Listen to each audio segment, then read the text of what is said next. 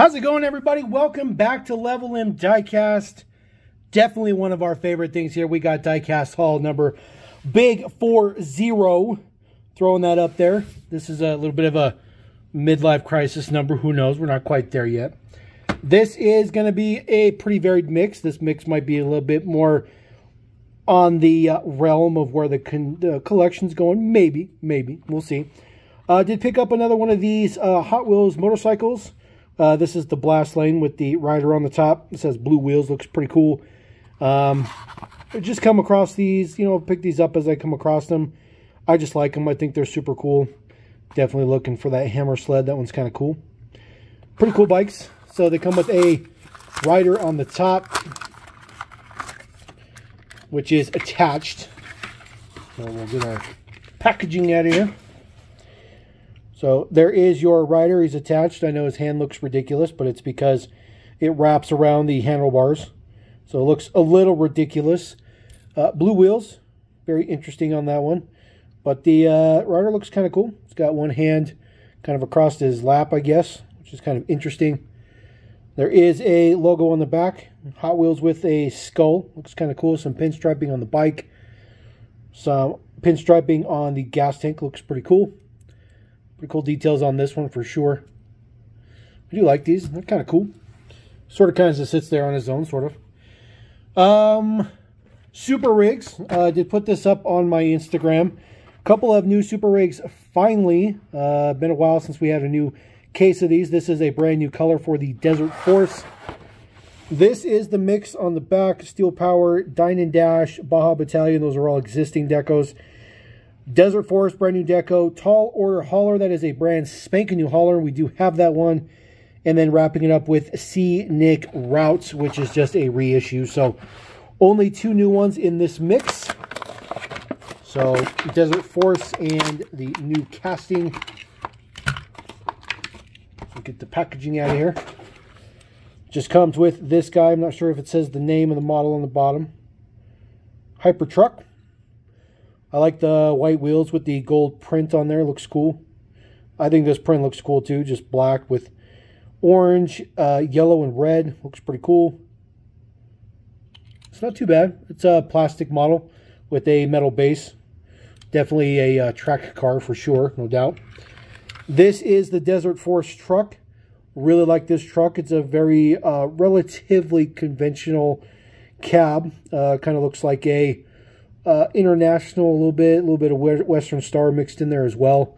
Definitely a hybrid hybrid truck. Uh, ridiculous exhaust coming out the back though, because you know it's a race truck. Looks pretty good on the bottom. Desert Force S28A, S29 is the day code on these. Of course, the trailer pops off. Not exactly the easiest. Chrome in there. Looks pretty good. White wheels with the same gold trim blue window, does have an interior. This particular uh, cab itself doesn't do anything, but I think it looks super cool. Very beefy. Definitely has a bit of a rake to the back, which is kind of cool. And then this is the trailer. The trailer does have just a little bit of metal right here at the bottom. Other than that, is all plastic. It opens up.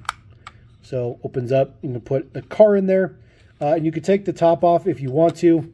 Um, opens up like that. So if you want to get into it, you can get into it.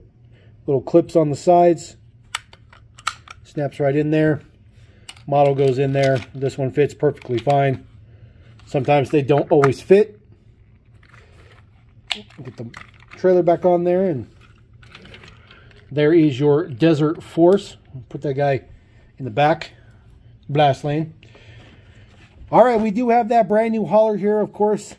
Tall order hauler. Hot Wheels Operation Transport Systems, it says. Uh, same mix, so no need to check out the back of the card. Get that out of here. Get the hauler out. Brand spanking new hauler.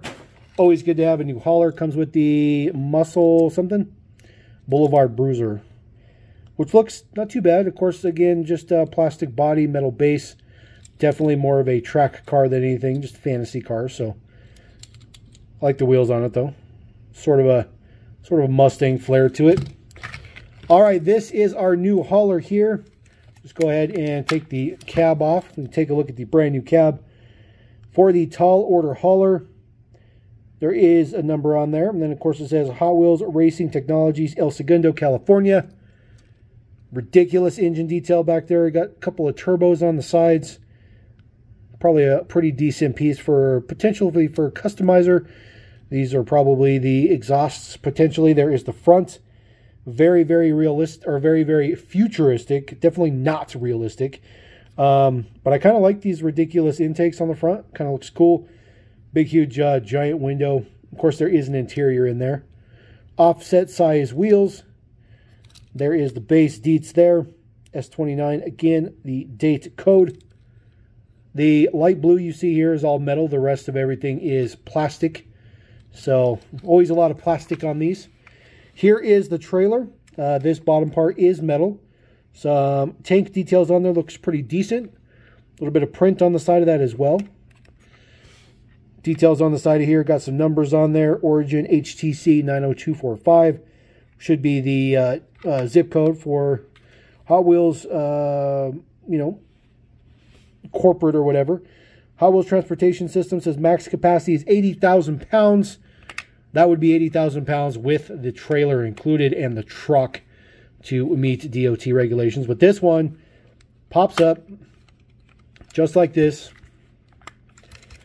And doesn't seem to... Oh, I see. So you pop it up and then you slide it back. And then that locks it in place. There's a little little spot in here. Pretty impossible to see, but you just slide that back, locks it in, keeps the cars on there. Doesn't drop down or nothing like that, but what it does allow you to do is now you can put cars in the bottom. So you can put two cars in the bottom, put two cars in the middle. So holds two cars in the middle. And then you can also hold two cars at the top. Um, both middle and top sections have little divots in there for the wheels.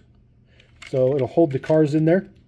And then, of course, just a uh, little ramp that drops down at the back, which doesn't seem to stay up very well. Not a whole lot of friction in there.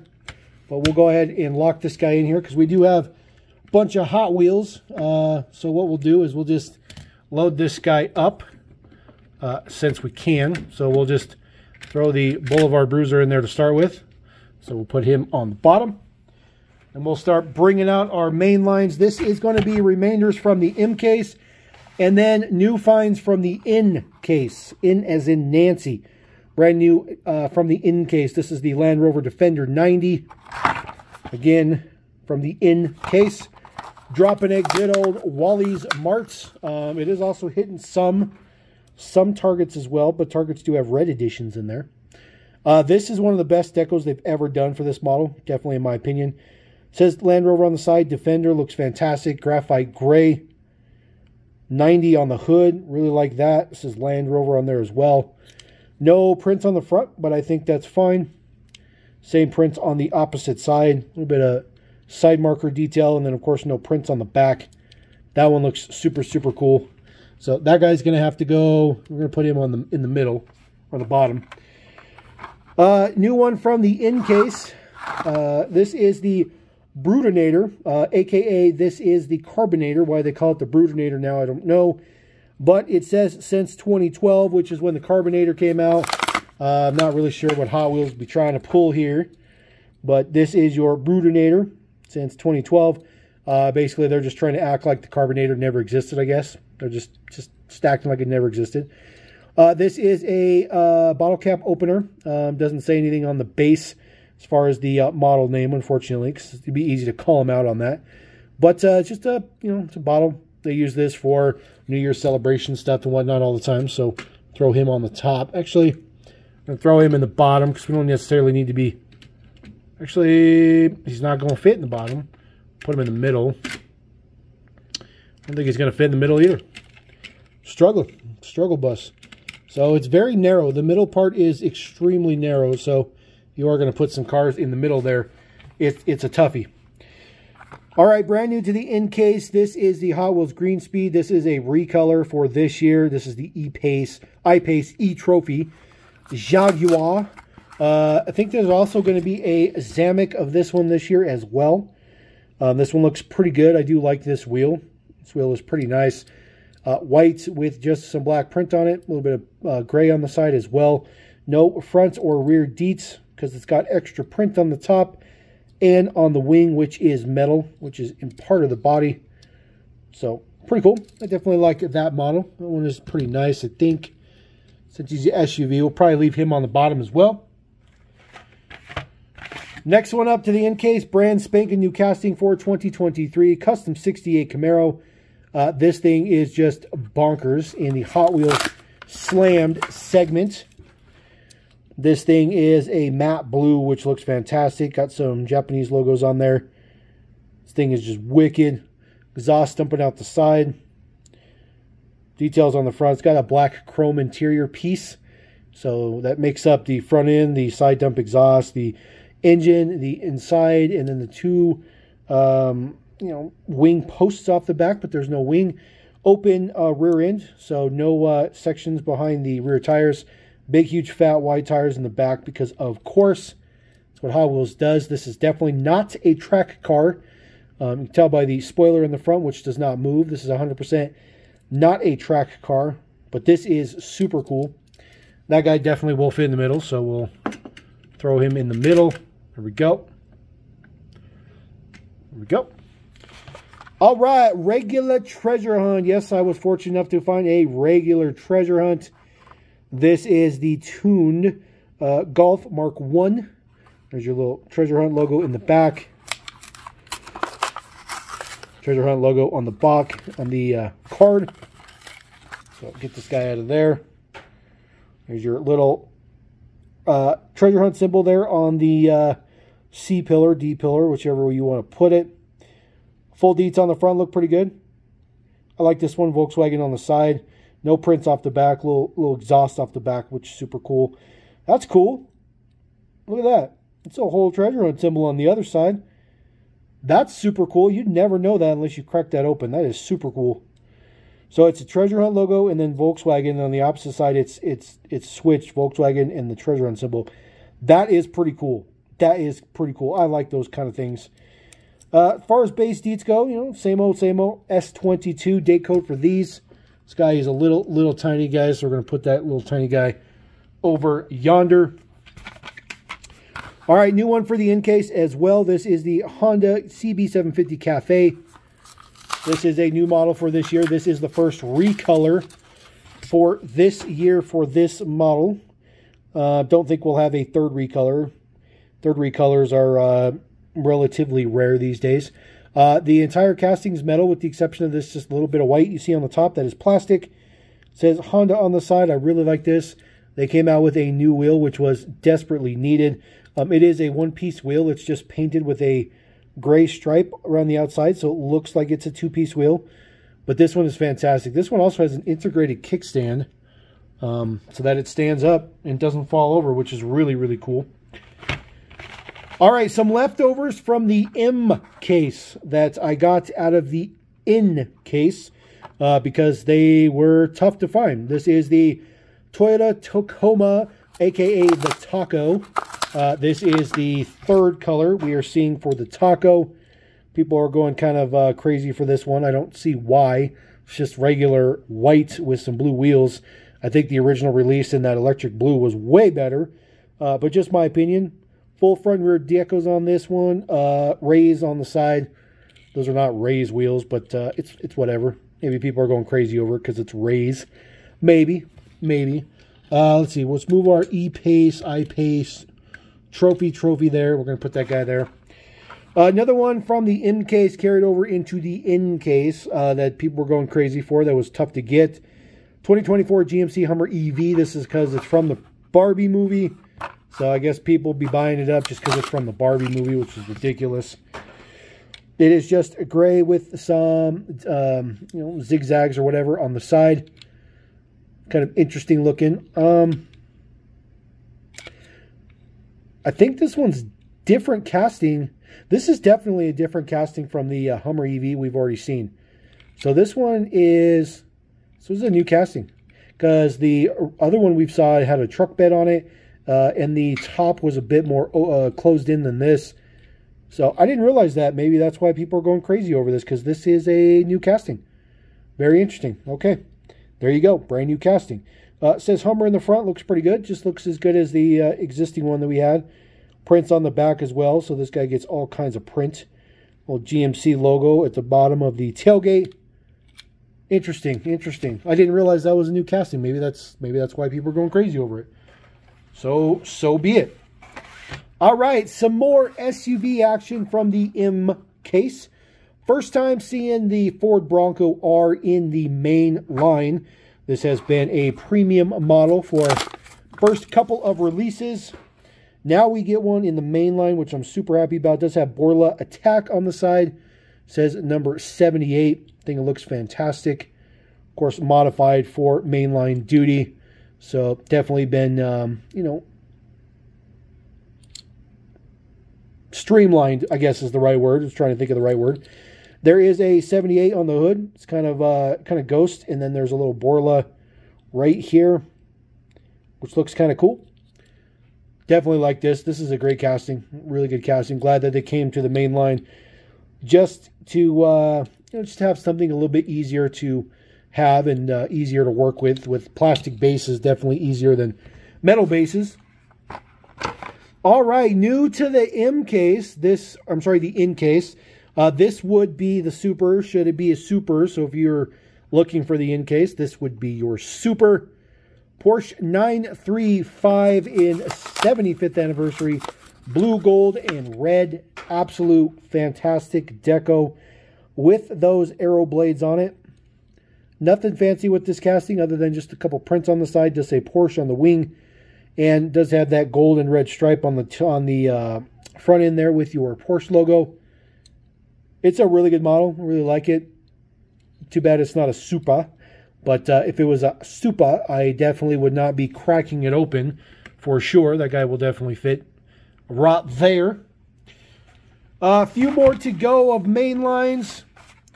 Uh, one more brand new model to the in case. Another Porsche. Porsche 928S Safari in gray. Really, really cool.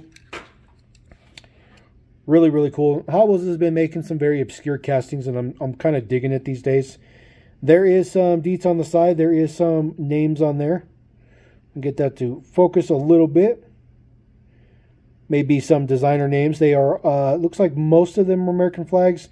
You see a better, better deal on this side. Man, you just can't read those names. It's not a perfect tampo, unfortunately, on this one. Uh, really good detail for the cargo on the top, spare tire in the back, of course, because it is a rally, kind of an overland version. Uh, very interesting to have print on just the interior four headlights or uh, fog lights, but not the actual headlights or anything else, which is very, very interesting. They'll say Hella on them. Those are actual branded lights, which is kind of cool. Sparco, of course, your 75th logo on the back here. This one is not a very good deco version. You can see a lot of deco coming off on this one. So might have to source a new one. There is the base deets, of course, made in Malaysia, like they always are. I think this guy will fit on the bottom. There we go. So that fills our hauler up. Uh, carryover from the M case. Uh, this was the, I believe this was the Super of the M case. Um, if you were lucky enough to find a Super. I couldn't even find the mainline version of this guy, so now I have it. This is the good old mighty K. Of course, this is all about Ryu for sure. International Racing Circuit. Looks like pretty cool. Some details on the side. No uh, prints on the back. And then, of course, there is the R symbol right there on the front. Looks pretty good. So, other than that, nothing fancy. Just the same old Mighty K that we are used to. So another little pocket car we'll put on that side. All right, the last main line I got is a doozy, I think. This is brand new to the in case. The Bugatti Bolide, uh, very interesting casting. I was uh, really excited to see how Hot Wheels has executed this in such a mundane line because uh, this car is just such a involved uh, thing in real life. So the window piece is relatively large. You see that there. Looks like the kind of openings and cuts look pretty decent. Can see through the rear wing. Kind of interesting. Kind of hard to see through there, but you can see through the rear wing. So that looks pretty good. Uh, looks like the window goes through the back section here. It's really, really dark. Uh, but you can see through there. I would anticipate there's probably some engine detail.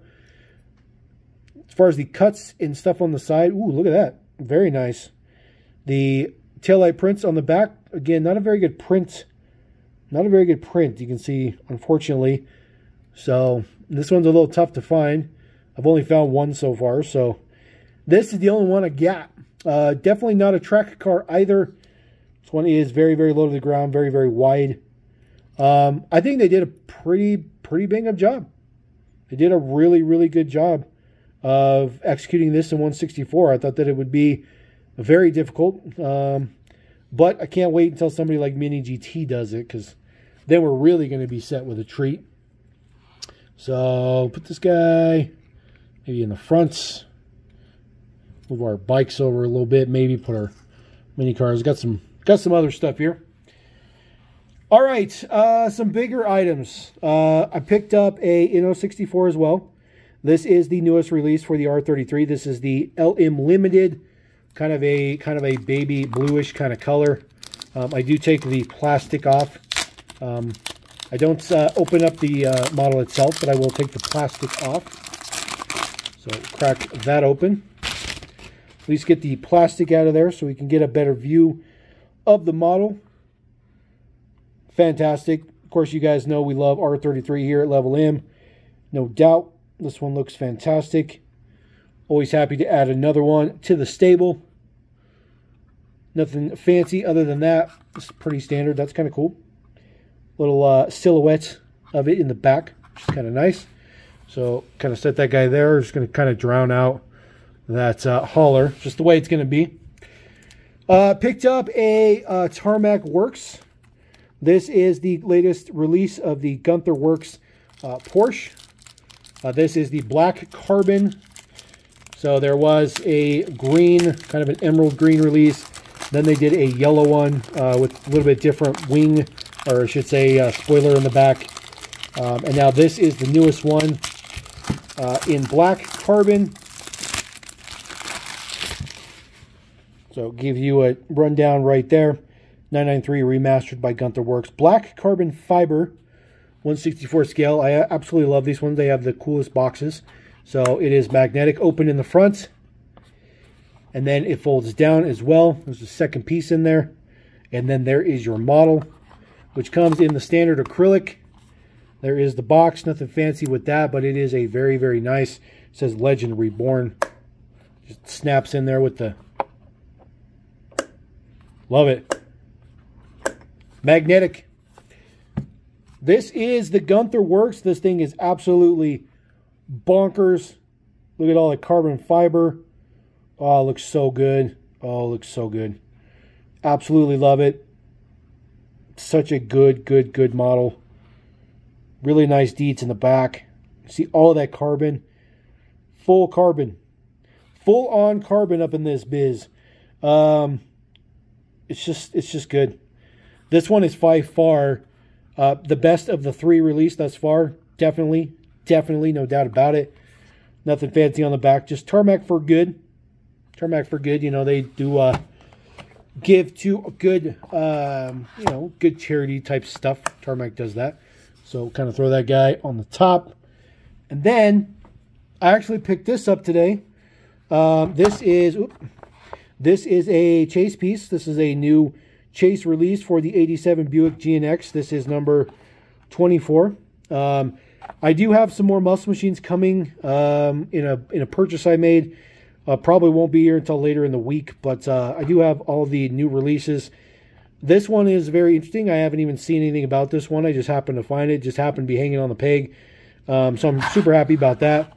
Unfortunately, I don't like the fact that that is in there. That's a uh, sticker that's like an in interior inventory code that's uh, um, Walmart's been using, that EPC. This one's interesting because it's inside the blister. So normally these are stuck on the blister on the outside, but that one is actually in the blister. As far as the release for this one, that is your release list there. Um, the only one that hasn't been released so far um, I think is the Quattro and the Cadillac. But uh, I did pick up the Cadillac. The Cadillac's on its way to me. So that one is in the works. We're just going to kind of sit that guy sort of in the side-ish Um, not that big a deal, really. It's just the muscle machines. Also, I finally, finally got my 70th anniversary Matchbox bus mail-in promo in the mail. This is comes in a Matchbox branded blister. So we'll just pop this guy out. It says Matchbox on there. There is the model, 70th Route Master, it says at the bottom, in a brilliant silver. Does have Matchbox on the side, 70th, really nice orange wheels. The UK flag, Tottenham on the side, since 1953. 53 on the front, full deets on the front, looks fantastic. Says Matchbox on the plate. And then on the back, fully decoed up, of course. Looks fantastic. And then there's a nice big Matchbox across the top. Very, very high quality prints. Uh, a very, very unique card. And the card looks fantastic. Looks really, really good. Just regular details on the back, nothing fancy. Really liked it. It's not a cut card. Uh, no, unfortunately, I am not going to crack it open. Um, but I will show you the day code. It is S18.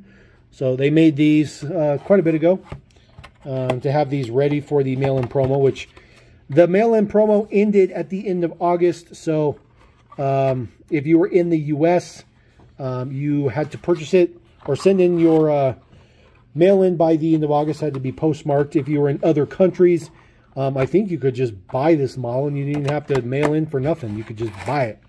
So I'm gonna set this guy. Maybe I don't know. We'll bring him back in. I got I got a couple more items now. As you can see from this haul, obviously I'm trying to mm, elevate the collecting just a little bit, just a little bit, a little bit better quality. Um, I actually picked up both of these models from Instagram.